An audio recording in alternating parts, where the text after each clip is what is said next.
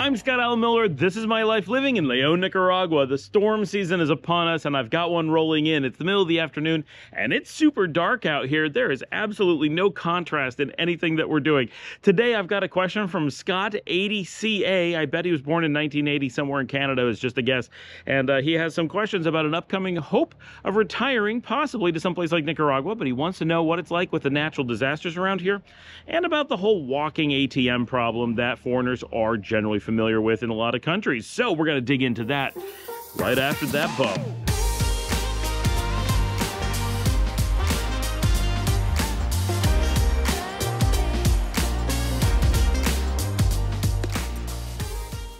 All right, everybody, let's get right to Scott's questions. Let's jump right in. We're going to answer these. I'm going to bring it up and actually read the question for you. I've done my best to have it here on my phone. Scott 80CA Says I'm Canadian living in Vancouver, British Columbia. I'm working two jobs, but it's mainly so I can save to retire early. Great idea. I love that approach. I've spent some time in the Philippines, even stayed there for six months. However, not so crazy about the Philippines. To be honest, there's two things that have soured me on the Philippines. Number one is the natural disasters, including typhoons, one which destroyed the house. That would sour me as well, Scott. Wow, that's uh, that's a major one. All right. Second is the fact that it seems like locals in the Philippines look at a foreigner, especially a Westerner, as a walking ATM, and I just don't like that kind of feeling. I don't like being stared at. I don't being like I don't like being looked at. I'm something special looked at as like I'm something special, if that makes sense. I'm an introvert. I do not like to be the center of attention at all. The questions I have are one, what's the natural disaster situation like in Nicaragua? Are they prevalent? Are there earthquakes? Are there volcanoes and, and hurricanes? The quick answer there is yes. And two, how do locals view expats and foreigners there? Are they looking at them as normal people just trying to retire and live their life? Or are they looking at them as something like a walking ATM or something? Do they have a colonial mentality there? Thanks. Okay, so let's start with number one. Are there natural disasters? What is the overall natural disaster situation in Nicaragua? It's a wow, there's a lot of natural disasters in Nicaragua kind of thing. So let's start with earthquakes because that's the first one on the list. Do we get earthquakes here? Yes, we get a lot of earthquakes, more or less continuous. I do on my shorts try to post those, so I'm assuming, Scott, that you're new to the channel, as are specifically a large number of Canadians who found the channel because of the whole Canadians moving to Nicaragua discussions. We have a lot of channel newbie uh, Canadians who are here, plus people from all over. We're always getting new people, but very specifically, we have quite a few, hundreds in fact, of Canadians who've just joined in the last several days. And so a lot of this you may not be aware because we've actually been in a low earthquake like two week period. So in general, we have earthquakes every few days. I mean, we have something every day, but it's like a, you know, 0.1 or something of earthquakes that are large enough to register. Here we tend to care about like a 4.0 and larger, smaller than that, like no one would even mention it. Even at 4.0, it seems pretty silly when our big ones are in the sevens. So until it hits like a six something, we really don't care, but we do sometimes mention it in the fours and fives because at least it's kind of interesting. But it is important to understand 1972, the city of Managua was liquefied right? That is full liquefaction of the city. It's one of the largest earthquake disasters in recent times.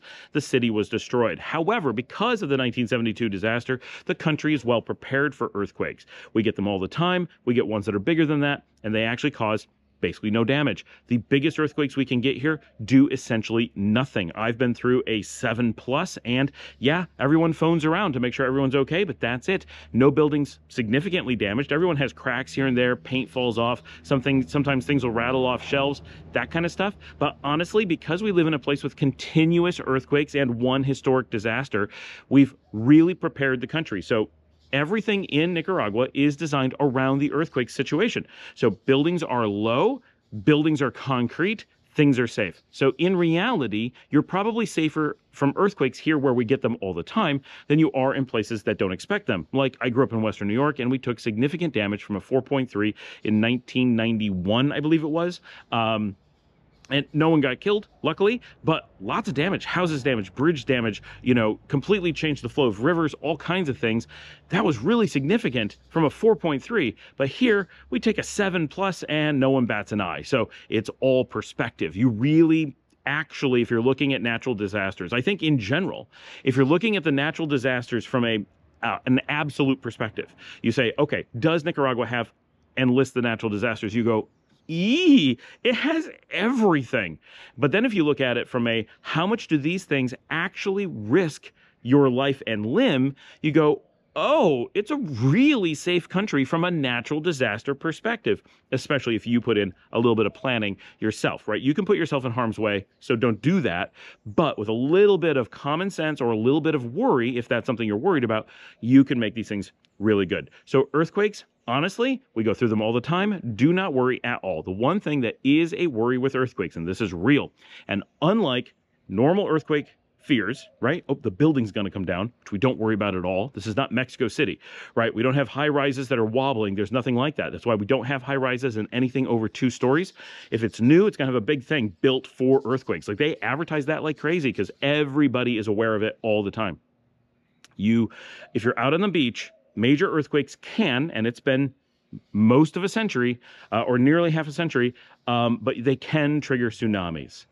And so, living directly on the water, you have to be ready to listen for tsunami, war- tsunami warnings, know what to do, feel for the earthquake, all those things. So, I do live part of the time on the beach, and that is a thing we have to be aware of. Tsunamis are a risk, and there is nothing that humans can do that is going to protect you from a tsunami except for just warning you and being like, get away, right? So, if you feel an earthquake on the beach, you look to the ocean right? You got to know what's going on with your water. But anywhere else in the country, you don't care. You could be in Managua where it was liquefied in the, in the past.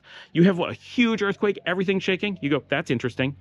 If you're out here in Leon, never has it been affected by earthquakes. Go to Granada, never really affected by earthquakes. Nobody cares, right? Most people, like, we've been around, we're like, everything's shaking. And all the locals are like, is this a thing?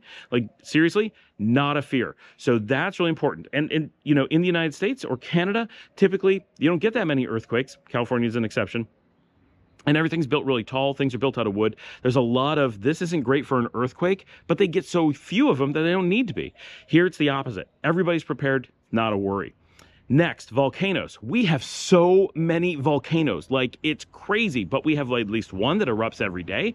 We have some that go off every few months, some that go off every few years, and from time to time, an, uh, a major volcanic event is going to cause some news in the country. So just uh, maybe a month ago, we had a major eruption on the island of Ometepe. There's a very active volcano out there, Concepcion, and it erupted and dropped all kind of ash on Moyogalpa and several other communities there on Ometepe. That was a cause for concern. Everybody was fine, not, not a big deal, but we were certainly worried about them, right? They could easily be cut off. They're on an isolated island, right? like they can't just jump in the water and swim I mean, they could, but they wouldn't make it anywhere, right? It would be a disaster. So, and they had to get ferries out there, but the ferries couldn't get there because the ash is coming down. I think it's a major problem. Now, everyone was fine, and uh, they did, you know, look into it, and everybody's worried. But they could be cut off from electricity. They could be cut off from from internet. There's things that could go wrong out on the island. So there are certain communities that are built on the on the sides of active volcanoes avoid those, right? All of those places like Ometepe, they know when they go there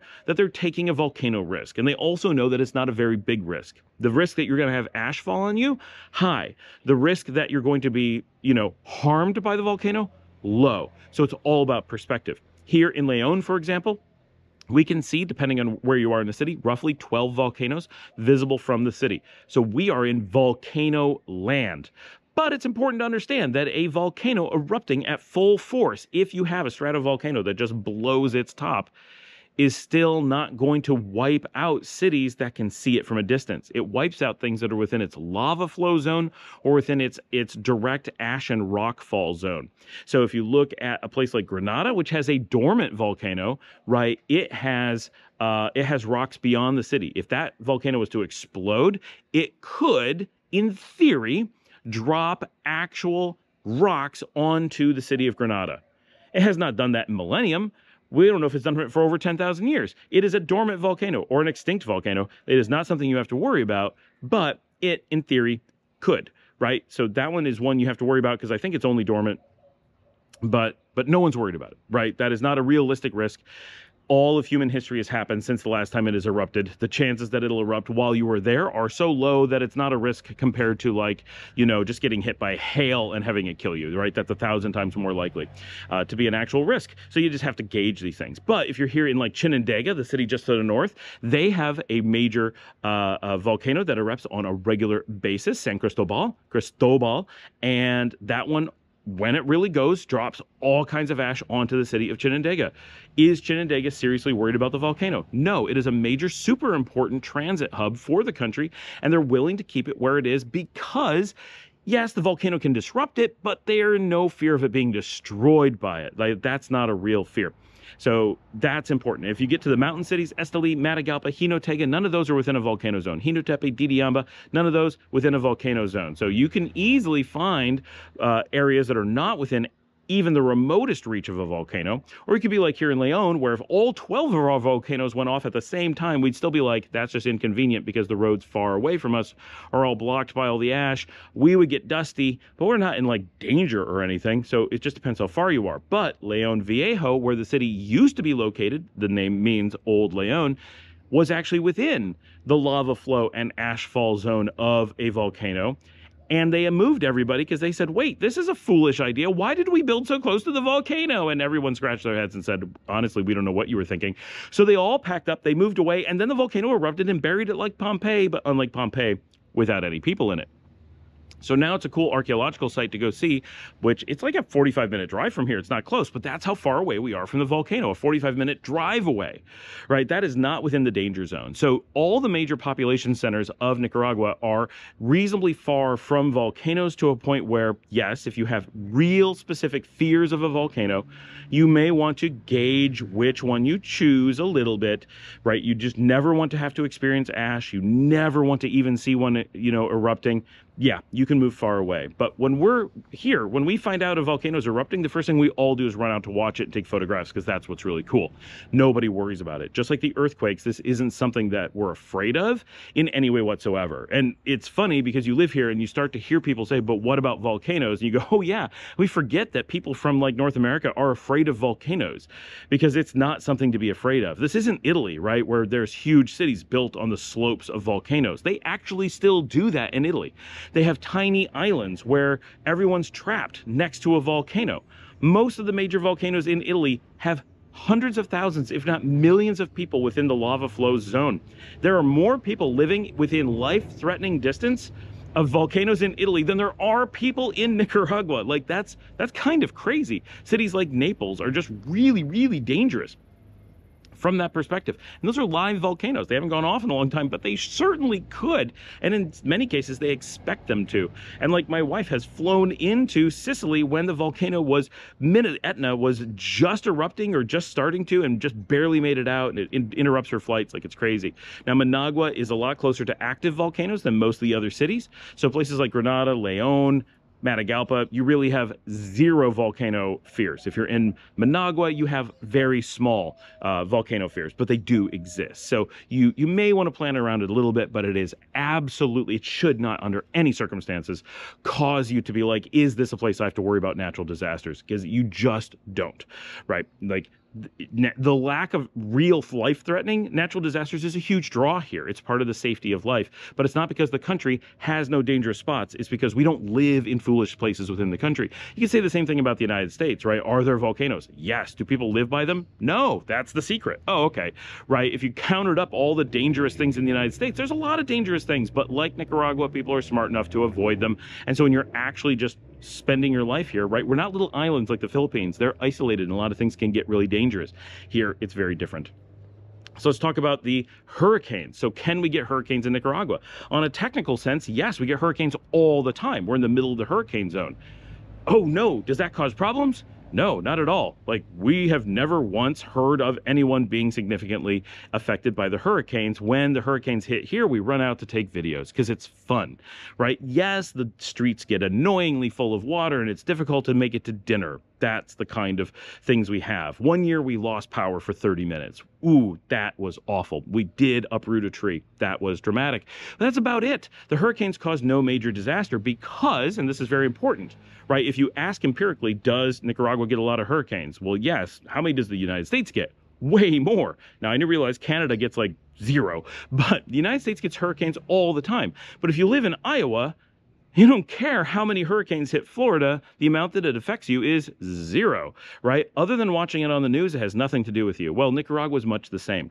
Hurricanes come from the Caribbean, which is far away from the majority of Nicaragua. When people talk about I live in Nicaragua, they mean traditional Nicaragua, which is the Pacific zone, which is where all the cities are, where the population is, and what was called Nicaragua in antiquity modern state of Nicaragua includes the Mosquito Coast and Corn Islands. So those areas, which are very prone to getting volcanoes, that makes no sense at all, are very prone to getting hurricanes, get hurricanes still all the time. And if you're out in like Bluefields or something, really, really remote, hours and hours and hours away from here, and you have a landfall hurricane, yes, that would be very dangerous. Don't live there, right? If that's what you're concerned about. I mean, by all means, if you like Bluefields, feel free to live there. It's probably a very nice town, completely different than what we have out here. But when we're talking about living in Nicaragua, almost all the people and even more of the expats live in Pacific Nicaragua. And that means that a hurricane that is going to land has to come all the way across one of the largest jungles in the world and then hit a mountain range. So first of all, jungles pretty much put a big damper on, on hurricanes, but mountain ranges just end them. Then they have to come up over the mountain range and come through a long valley to get to most of Nicaragua. And by the time they get to any place that there are cities and population, what you're looking at is just a really rainy day. They can be super rainy, and a few of the mountain towns like Matagalpa can end up with some severe flooding or even occasionally a mudslide or something like that. So be aware that mountain towns, that's always a case in mountain towns anywhere in the world. A lot of rain could cause some mudslides. So just something to be aware of. Matagalpa is the only town that really gets those with any frequency. And we just went through one of the heaviest rain weeks in recorded history here in, uh, in Nicaragua. And yes, one small part of the Matagalpa Jinotega Road washed out. But not with people on it, not like a big disaster, just part of the road washed out during a major storm, and that's unfortunate. They have to go repair the road. That's the kind of disaster we had during epic amounts of rain. So hurricanes also essentially a non-issue unless you really are just averse to rain. So with the exception of tsunamis, which only affect you if you live on the very nearest streets to the beach, you have essentially no natural disasters that you have to worry about in normal Nicaragua. In all the stuff that we show here on the show, you have nothing to worry about. Out here where I live in Leon in the west, other than it just being really warm a lot of the time, once in a while getting some flooding on the lower streets, we have no worries from any natural events whatsoever. It's an extremely safe area. We do not worry about the earthquakes ever. The city's been here for 500 years. No earthquake has ever affected it to a degree where it was a problem. Just some cracks in the walls, which is normal. We have no worries about uh, volcanoes. That is not something that will ever affect the city, and we do not ever worry about hurricanes. We do know when they're coming, so that we can, you know, get our umbrellas done, get home before the roads get get messy. But that's about it. This is a great area, not just Leon, but large swaths of Nicaragua are absolutely perfect for someone who's worried about natural disasters. But it's funny because we get so many natural disasters. They're just more like natural events here just the natural situation in Nicaragua protects us to a point where they're not really disasters. All right, and on to your second question. So the walking ATM problem slash really obvious expat problem. There's a couple ways to approach this. So the first piece is depending on where you live in the country, obviously this can kind of happen. If you're in a tourist zone, specifically Granada or San Juan del Sur, which are just full of tourists all the time, there is a tendency towards at least some people to start to have that walking ATM effect. However, most people won't be staring at you, right? You're not going to have that you're standing out kind of thing because there are so many tourists that you just fit in. But the problem with heavy tourist zones, such as those, is that there is a strong tendency to be seen as the walking ATM. Not by all people by any stretch whatsoever, but by some amount of people for sure. There is a lot of people who realize that the number of foreigners who are passing through the country is such a high number and that they will pass through and they will be gone and another crop of them will come in the future, especially in those two particular spots, that they might as well beg from them because they never become a part of society. They're never going to be their neighbors. They're never going to be friends and family. They're never going to be a part of anything. They're never going to see them again, or at least not after a few months. So why not try to get a few dollars while you can because this isn't a person you're ever going to connect with. So if that's something you don't like, then you definitely want to avoid those zones. Not that you need to avoid them, but just for living in. If you want to go vacation on the weekend over there, no problem. Same as being a tourist anywhere. If you're a tourist in Paris, you're going to get a little bit of the same effect. In Barcelona, in Madrid, wherever, right? You go to a place that has a lot of tourists, that's going to happen by at least some people. It might be a little bit worse here because of the income disparity or perceived income disparity or super obvious look of what expats look like when they're here, but it's basically the same as you're going to get a lot of places. But if you move to some place, for example, like here in Leon, will there ever be someone who suddenly asks you for money and they weren't asking other people for money? Yes, it can happen. Does it happen to me often? No, every maybe three to four months, it'll happen once. So very infrequent, but I'm not going to say it doesn't happen. I've certainly had some situations where some guy was just crossing the road in the middle of a barrio, middle of nowhere, he was just going from his house to a pulperia to buy a candy bar or something. I walked down the street and he immediately turned into a beggar because I was coming by, acted like that was his income, was begging on the street. And as soon as I walked on, he went right back to normal life, right? In no way was he homeless. In no way was he begging. In no, er, a beggar. In no way was he needing anything. He just saw a white guy walking down the street and turned into a beggar instantly on the spot. But that was two years ago, and it stands out in my memory as an event that happened, right? That was that guy was a jerk. It's not that it's a normal thing. I remember a second incident that one time I was at a restaurant, restaurants here outside, and some guy saw me and just kept yelling at me from the street. Now I find mostly if that happens, someone will walk out and eject them, right? People will take offense to it and do something about it. That was less in the past. Uh, but these are rare incidences, right? These are things that stand out in my memory, and I've been here for many years, so it's not a big deal. Here in Leon, you tend to not have that uh, being at a distant thing. It's a nice combination, and there's lots of places in Nicaragua like this. Leon is just where I live, so it's the example case, and it's one of the reasons I live here. You're, if you're here, you're not the only expat if you're living here, right? We have a fair-sized expat community, so in no way are we abnormal. Now, if I walk through an extreme remote barrio, people are a little bit confused as to why I'm there there. Unless they recognize me, then they know that I'm filming barrios and it's not a big deal. But even some of the more remote barrios, Sutiava, Guadalupe, uh, Heroes and Martyrs, like they actually do have one or two expats who live in them in almost all cases. We've got expats who spread out and sprinkle themselves here and there. And because of that, there's actually very little of this surprise that there's an expat there. They may be surprised at the number of them suddenly. Wait, there's three? I thought there were two. Wow, what's going on? Right? They're taking over 50% increase. Watch out. Right?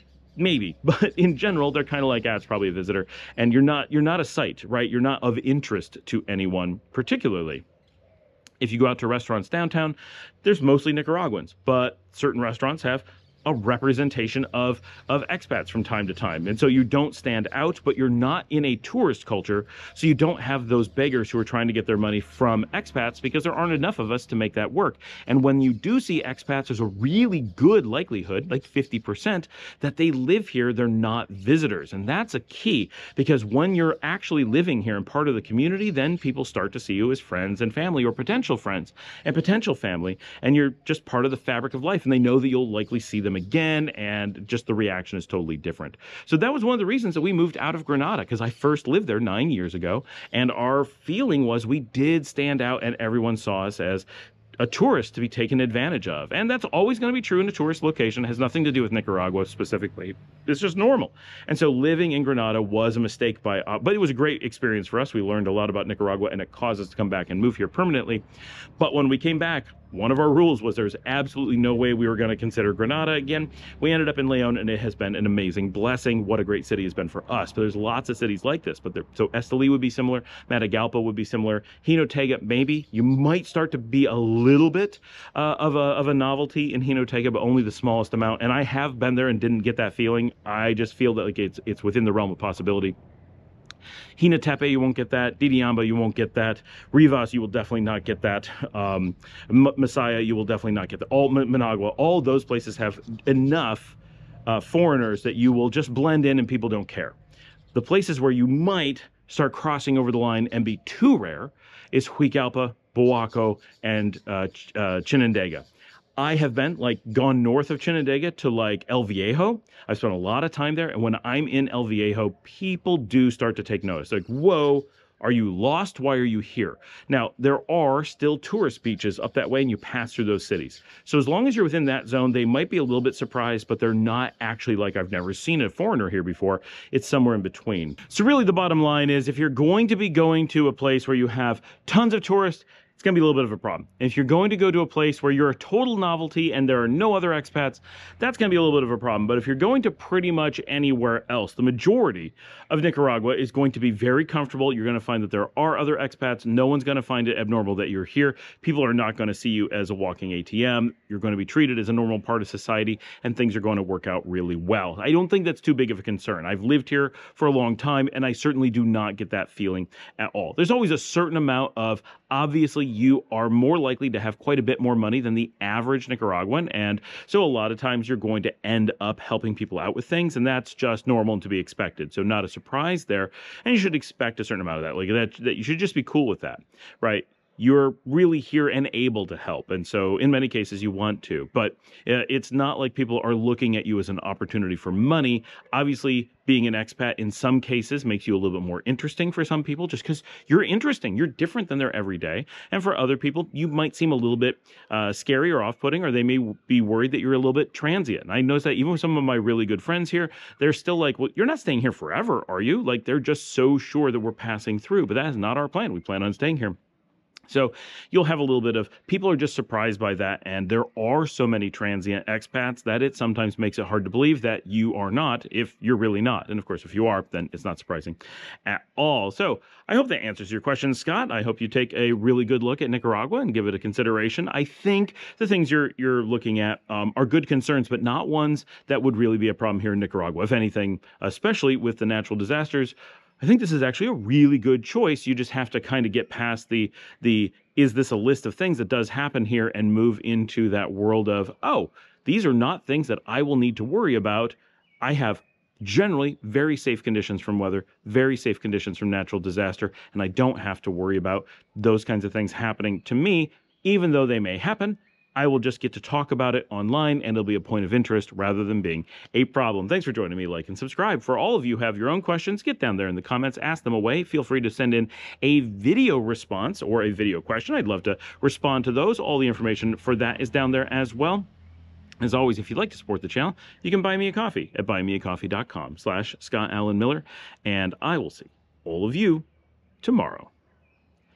And you can support the channel as well by clicking on one of the videos that pops up here or scrolling down and clicking on one of the ones that YouTube recommends.